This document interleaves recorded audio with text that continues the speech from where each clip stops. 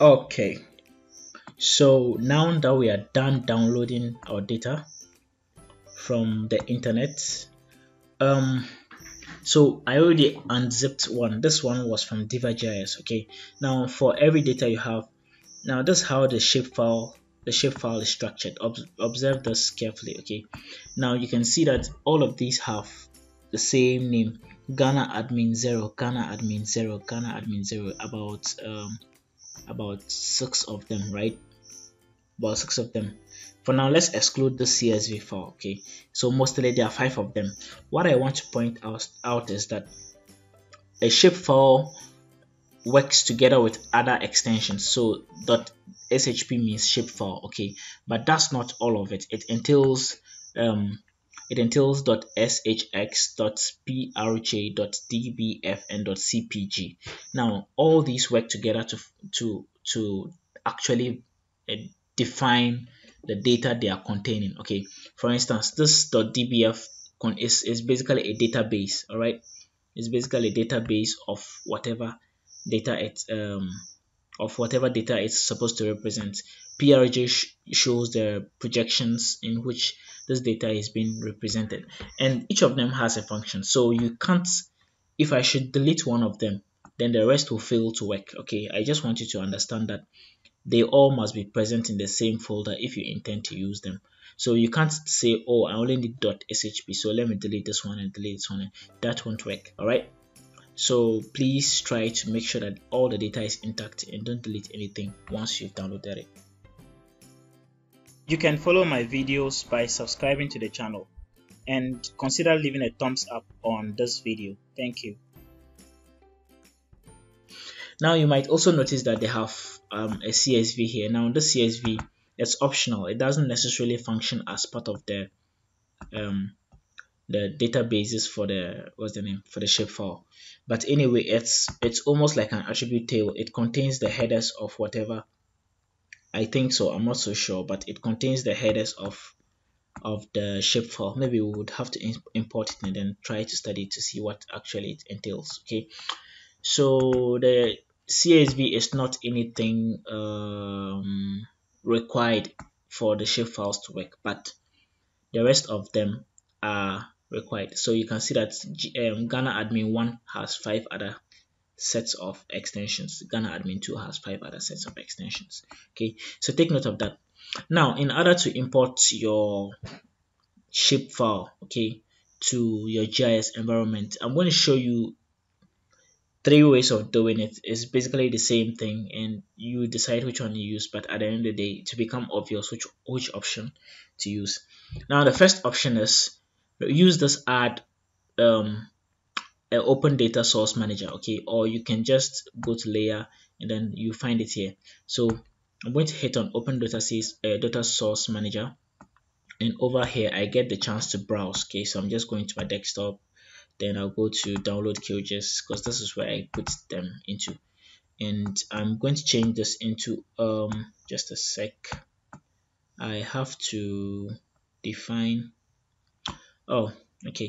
So over here because i'm coming to download um import a, a shape file that's a vector a vector data. So i'm going to move my tab into the vector section. If i were to import a raster data i would come to the raster or if it were a mesh or a comma delimited or a geo package you see all the other data types we're talking about. Anyway so what i'm dealing with is just a vector. So i'm going to select the vector tab and then i can browse okay so I browse to Ghana admin and then I look for Ghana admin 0.shp. This is the one you import. Don't import PRJ because it won't work. Always look for the one that ends with shp.shp. So that's the one you import and then if I hit on add, it should add it over here. You can see that it has added it. Okay, so I can just import the rest of them.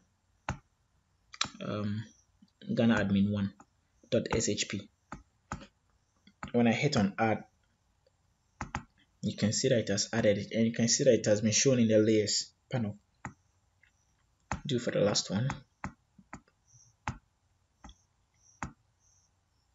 And add. Okay. So you can see that it has added all three and it's it's basically simple. So you go to the open uh, data source manager and then you select the kind of data you are importing. You browse for it and then you add it okay? It's basically simple.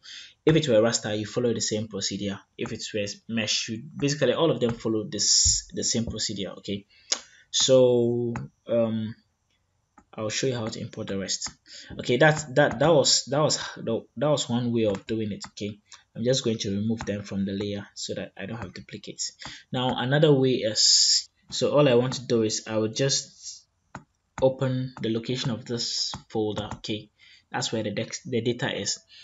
Look for the .shp file drag it and drop it into my working environment. That's pretty simple right? Drag it and drop it into my working environment. Drag it and drop it into my working environment like this. Also really simple. I hope you get it. It's it's basically the same way of doing it. I mean it's basically the same i mean the same results you get uh -huh. so the third one i want to show you is you see that it has um an a csv file okay?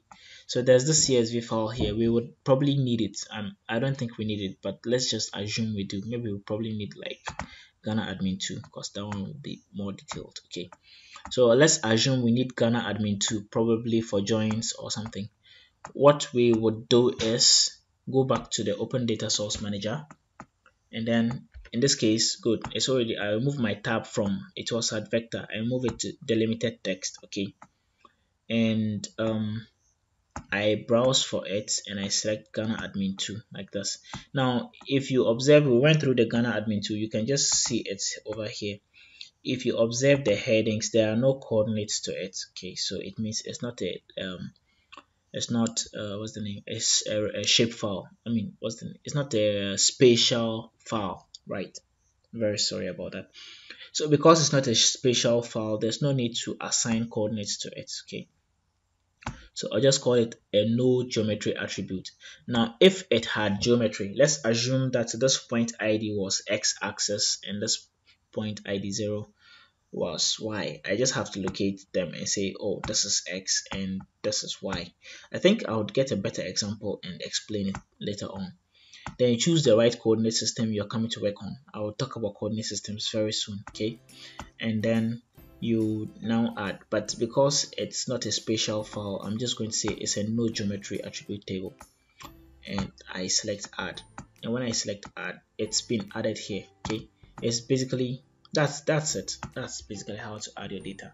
So these are the three ways of adding data and there are actually other ways of doing it like for instance adding uh, raster data adding um, geo packages and all all that but um, I want you to stick with dragging and dropping. So first of all, concentrate on finding the one that is .shp, okay?